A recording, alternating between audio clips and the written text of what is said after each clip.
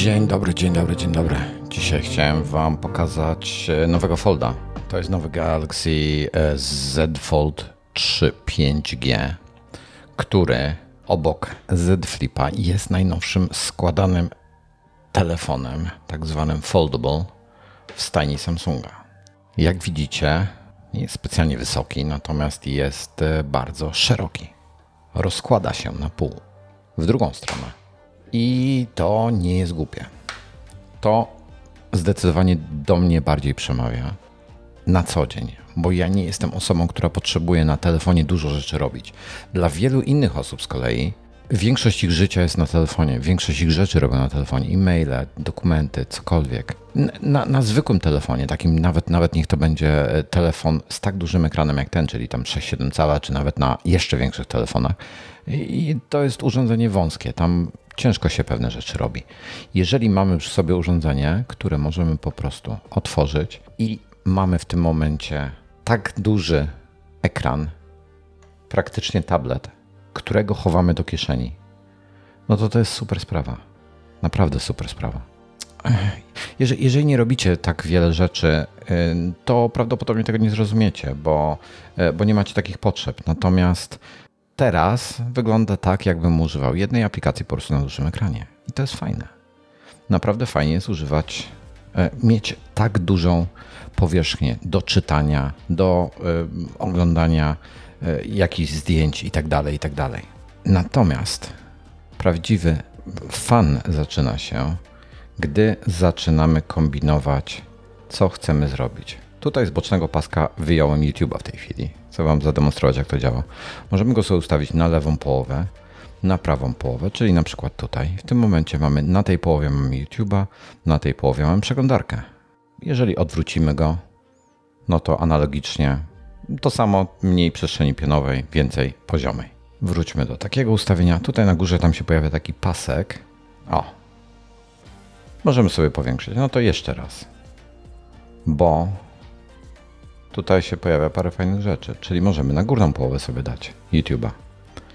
To oznacza, że możemy sobie, e, to w tej chwili głupio zrobiłem, bo muszę odwrócić, o, możemy sobie telefon w ten sposób ustawić, czyli jako stojak. Tutaj możemy sobie robić na przykład notatki, możemy mieć coś otwartego, przykładowo notatki, albo coś czytać, tak, jakąś stronę internetową.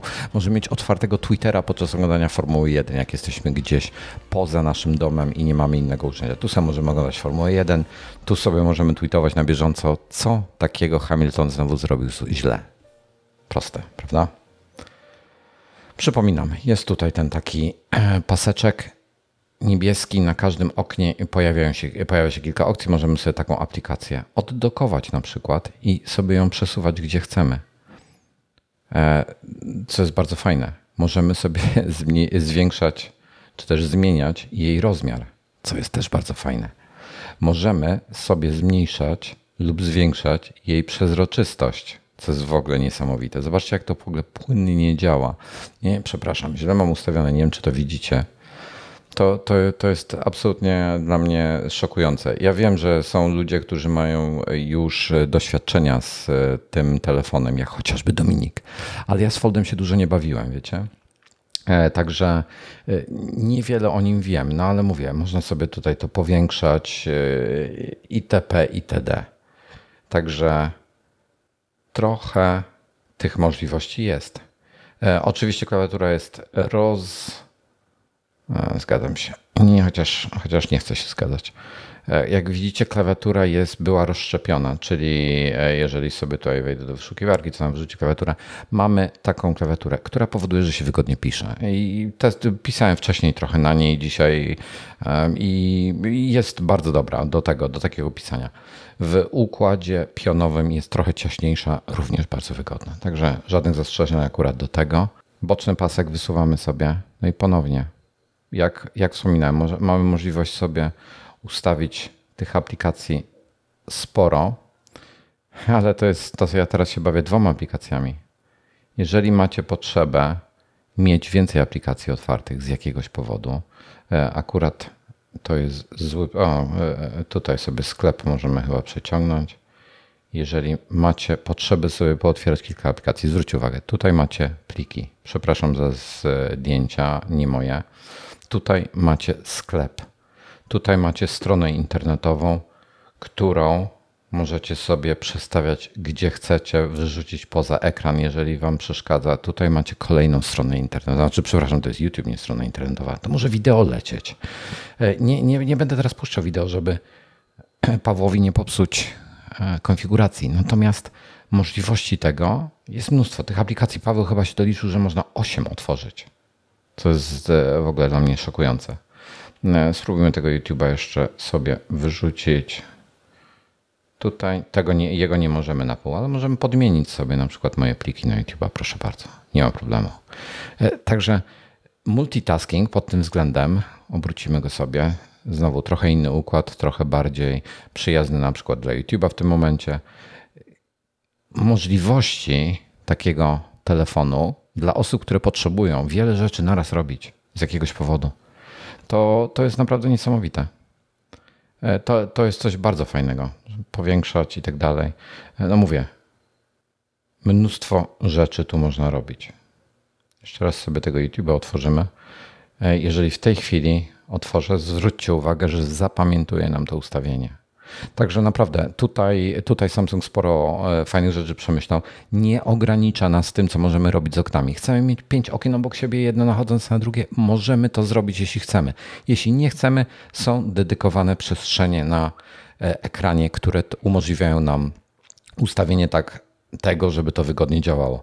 Plus jest oczywiście to, to e, w przypadku okien poziomych jest to e, składanie, co e, nam umożliwia w tym momencie robienie dwóch rzeczy naraz, na przykład właśnie, no tak jak mówiłem, oglądanie wideo albo czytanie jakiegoś dokumentu, odpisywanie na podstawie tego dokumentu na maila.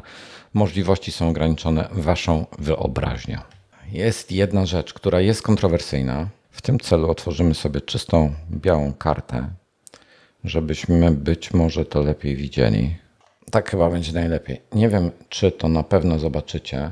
W tym miejscu jest kamerka. Prawdopodobnie, mam nadzieję, że ją widzicie, jak ona się tam odwróciła się teraz. Na białym tle lepiej widać. Na kolorowych tłach nie jest tak bardzo widoczna. To jest kamerka, która jest pod ekranem. To jest kamerka, która nie jest dobra jakościowo. Ona nie jest jakaś super, ale właśnie ma nie być. Dla mnie to jest super decyzja. To znaczy, jeśli o mnie chodzi, w ogóle mogli ją wywalić całkowicie.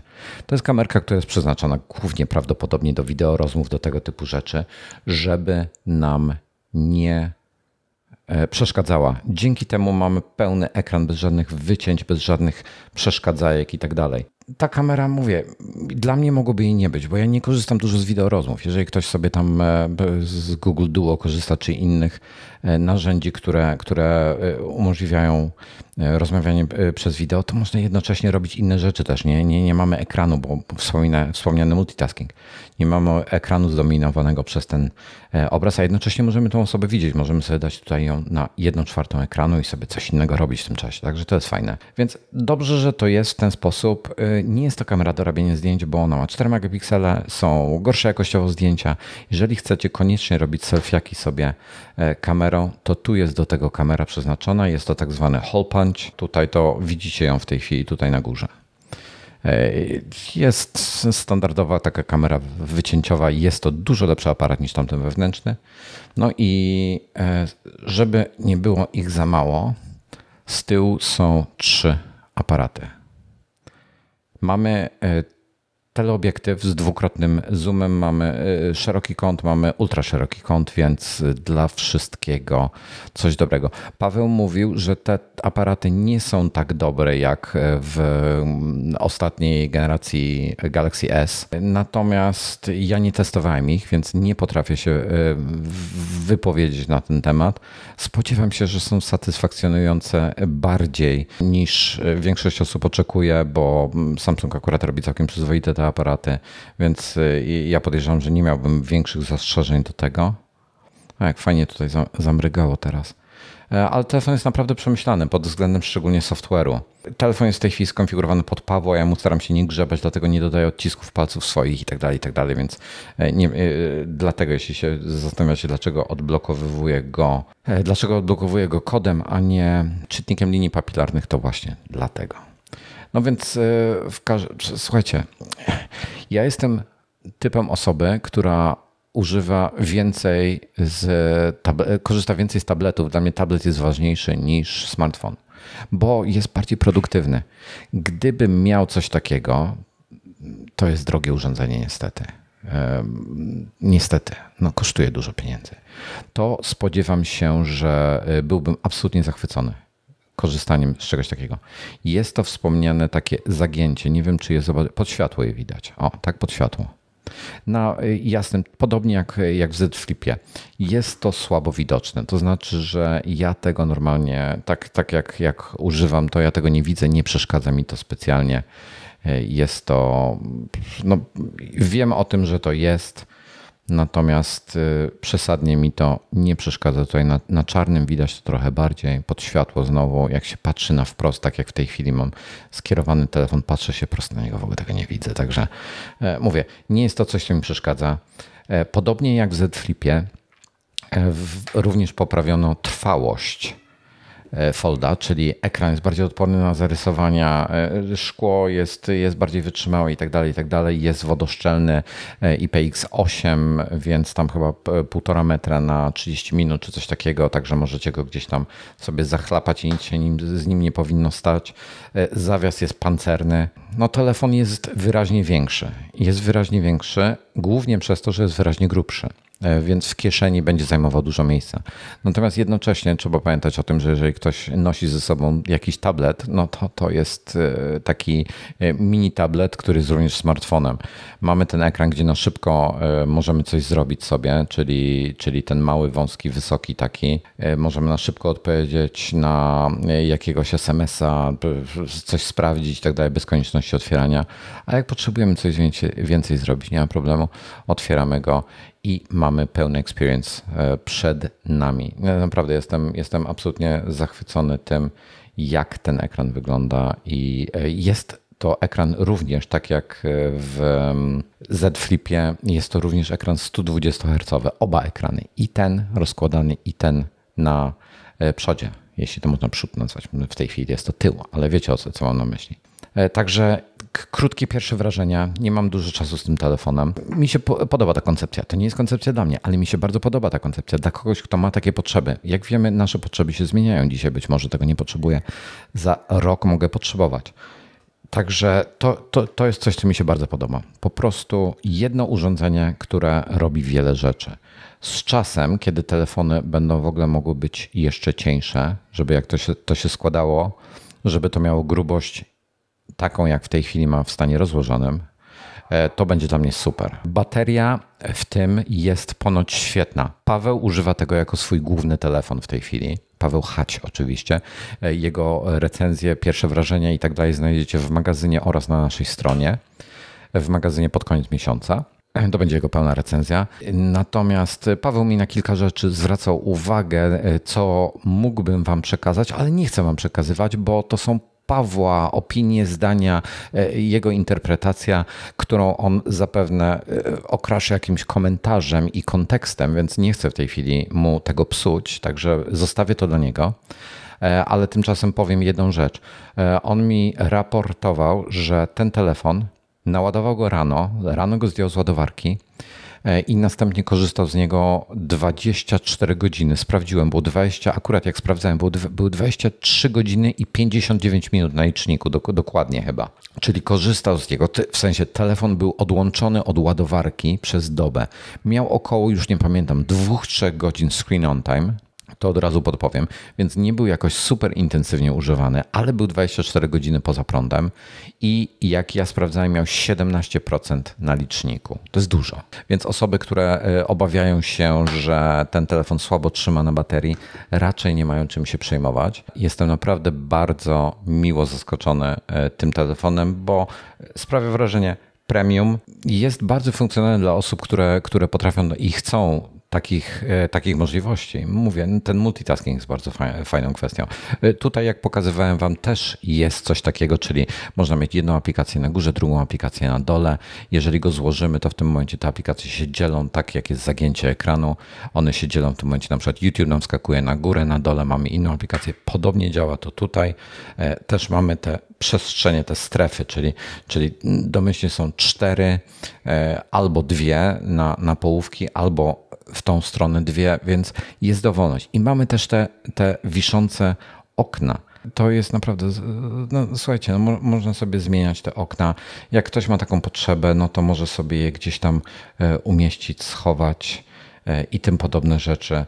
Z tym bocznym dokiem jest też, też taka funkcja, że można go sobie przypiąć na stałe, żeby te ikonki tutaj były przypięte na stałe. Trochę jak, jak dok w mm, macOSie albo na przykład taskbar w Windowsie, gdzie mamy, gdzie mamy jakieś nasze przypięte ikonki najczęściej używane, więc to może być na stałe wysunięte. Nie zajmuje wtedy tyle miejsca, mniej miejsca jest tak, tak ładnie przypięte e, do, do bocznego ekranu. Także tego typu rzeczy są. Naprawdę pod tym względem mi się bardzo podoba. E, jest bardzo fajny, jest też bardzo drogi, ale jest świetnie wykonany, więc E, dla wybranej grupy osób na pewno będzie to świetny wybór.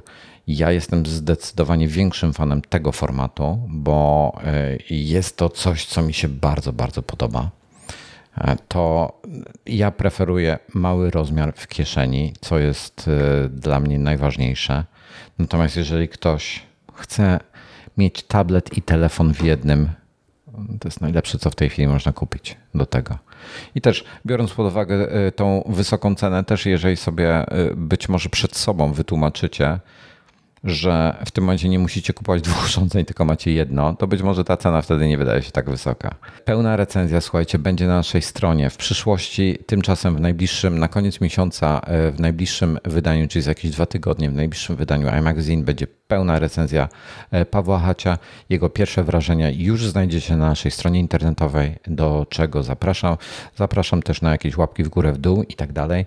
E, jeżeli Was interesuje bardziej Z Flip, moja recenzja Z Flipa będzie również w magazynie. E, jeżeli Was interesuje Z Flip, to zapraszam na jakieś pierwsze wrażenia, pierwsze zdjęcia, które porobiłem również na imagazine.pl. Wideo na temat Z Flipa jest już na kanale. To będzie ten film o jeden wcześniej niż ten. Dziękuję bardzo. Do zobaczenia. I see you.